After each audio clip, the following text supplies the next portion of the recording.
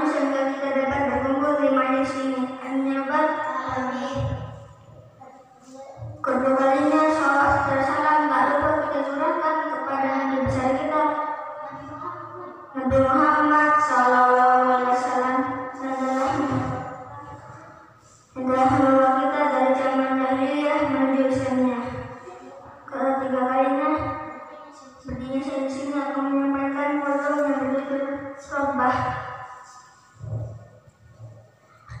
Pero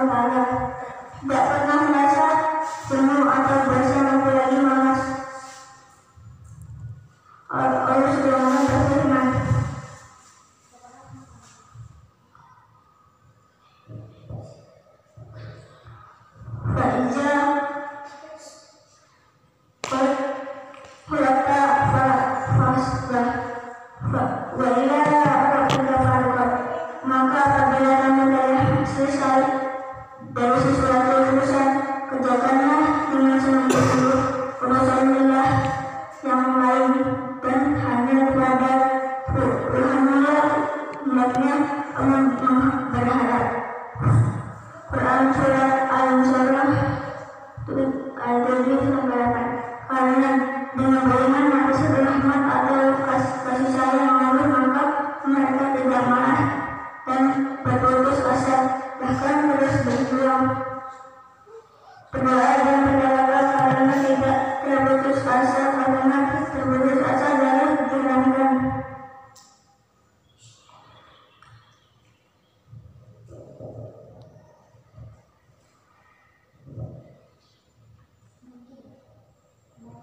Mungkin ini saya